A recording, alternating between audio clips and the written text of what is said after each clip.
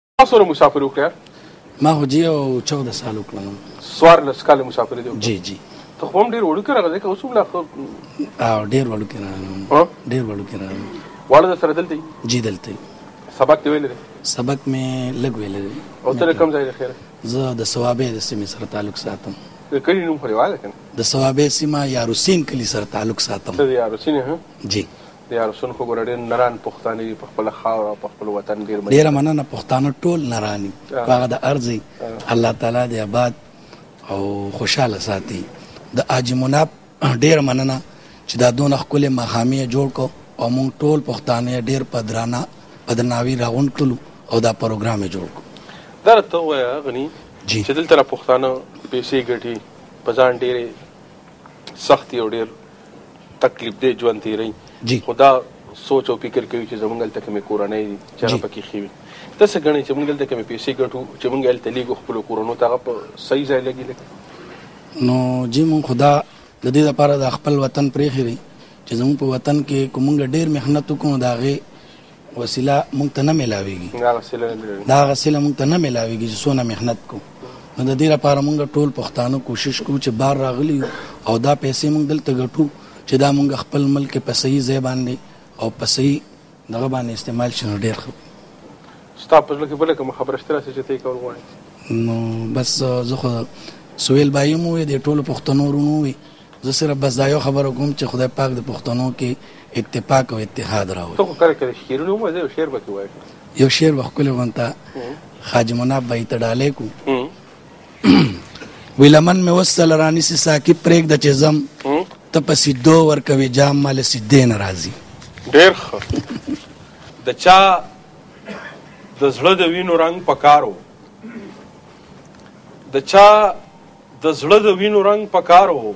ستا خو د خپل ښایست کلنګ په کار وو دا لر او بر پښتون به یو شي اخر دا لر او بر پښتون به یو شي اخر ولې په رور خو د رور ننګ په کار وو او مونږ لاسونه هغه چاله ورکړل مونږ لاسونه هغه چا له ورکړل د کومو خلکو نه چې څنګ په کار وو او هیڅ کمی نه و د زلمو سرونو هیڅ کمی نه و د زلمو سرونو د ادم خان د رباب ټنګ پکار وو نو مرګرو راځي موږ سره بل زلمه مرګره ناشته سلام شروع په خیر علي السلام علیکم جی څنګه حال دي سلام والله الحمدلله الله کرم تاسو نوم دي ما نوم شاهین خان دی شاهین د کوم ځای رول زه اکوړه خټه کې ونی تم دا کوړه خټه کې او یې کوړه خټه د خوشحال بابا او د اجمل بابا بشک او د سپیزلې خاوري او جی بالکل ستر خوشحال بابا قبر لته بالکل او جی لاړم او چې راجمل بابا قبر او جی بالکل او موږ سره نږدې دی جی خپه وی بالکل جی بالکل او په دې خبرو په ډیرو ویاړ کوي چې زه دا غي خاورې یم چې موږ ټول په ډیرو ویاړ کوو دا زه ابلزنی خبر چې ما سره یو کس ملاو شو د کوهارټ لکیو هغه ما سره کالج کې لیکچرار دی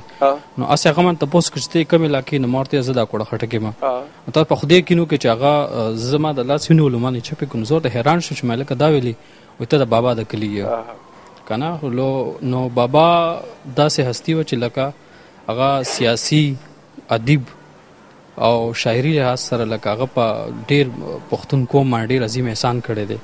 او داغه چې کوم مرګ نه هغه چر هغه شان هستی بیان شي راتلی او ستا سبق ویل دی جی ما سبق ویل دی څه کار کوي زه دلته لیکچرار یم جی لیکچرار دلته ژوند څنګه تیری جن جی الله تعالی لاک لاک کرم دی. مونږ خو چې هر هغه پښتون ته چې په خپل کور کې د خوشحال بابا، د رحمان بابا، د ملنګ جان بابا، د غني خان، د اجمل بابا، د حمزه بابا دا دیوان خامخا د تبرک لپاره د برکت لپاره په خپل کور کې کېږي ته څه وایې؟ بس وروره دا خو اوس داسې لکه د حکومتي لحاظ سره لکه داسې دغه جوړ شو کنه چې زمونږ هغه سلیبس نه هغه پښتو مضمون بالکل ختم کو ټیک شو کنه نو امونګ پختون قوم چې څومره دی لکه ما خپل ځاني لکه دا د دې قوم سره لکه مونږ چې کوم ځوانان دي اما کوم ماشومان مونږ سره واړه چې کوم د دې سلمې کوم د اماراتو کې څونه ماشومان اما زیات تر کنکشن چې دا ماشومان سره بیا پښتنو سره خو زیات تر دي خو لکه هغه ایون د دې هغه پښتو تاریخ مرتلا نشته پتا کنه نو هغه وجه دا چې زموږ هغه سلیبس نه غشي بالکل دی ختم کو نو د ته تاسو خپل د غم ویل شي بدقسمتي مرته مونږ ویل شو حکومتي سطح باندې یما رونو ډیر زیات خې خبرو کې یو خبر زما د سویل به ډیر زیات خوښ شو او مونږ وایو کنه چې یو د د کوم لکه یو مشر نه پته لګیده چې یاره دا خاندان څنګه دی اوس مونږ د ماشوم نه پته لګو چې دا خاندان څنګه دی بدقسمتي ډیره لکه ما ته خپل ځاني ډیر درد ملایږي په دې خبره باندې چې دلته مونږ سرسونه پښتانه لکه زما سر واسطه راځي کنه نن نه خبره نن نه خبره دا چې زمونږ نن یو میټینګ مونږ دا پیرنټس راغوښتي وکړه نو تاسو یقین ساتئ چې په 30 پښتنو کې صرف درې راغلي او 27 نو راغلي په تیر شو کې صرف درې کسان نه درې راغلی او 27 نور راغلی جی او آی سره ما ټلیفون کنټاکټ شو کو نو بس چاوي یره زه مصروف یم چاوي زه فلانکی ځای کې مچا ایون یو خو پکې راته دا و چې یره موږ دومره خوشی چې تاسو ته میټینګونو ته راځو دا حقیقت خبره ده لکه کنه دا موږ د ډېر بدقسمتي خبره چې موږ خپل ماشومان ادی تربیت بس ټیک ده مونږ وایو چې سکول ته مو بوتلل بس خبره ختمه شوه دا یو احسان دی مونږ په دې ماشومانو کوو چې په دې باندې فیس دغه کوو هغه هم دې لپاره نه کوي پنځه شپږ ګنټې به ترې خلاص شي ورته سکول نه بس هغه وایي چې مونږ پیسې ورکوو مونږ پیسې ورکوو بس تاسو پوه شو کار مو پوه شه کنه نو دا لکه حقیقت دی نه نه خبر ده چې ما ورسره خبرو کنه هغه ماته چې مونږ دومره خوشي یو چې تاسو بر وخت میټینګونو ته را روان یو دا ډیره بدقسمتي ده زویم لکه د شمشاد ټي وي په دغه باندې دا حقیقت دی چې مونږ پښتون قوم چې کم دی دا په تعلیم ډیر زیات کم پاتې شوی دی او دا اوس چې کوم حالات روان دي نو په دې لحاظ سره خو به دا که دا لکه مونږ توجه نه ورکو کنه مونږ توجه نه ورکو نو دا خو بس بیا خو بیا ډیره ګرانه خبره ده بیا خو پښتنوله علم حاصلول پکار دي ځکه چې علم رڼا ده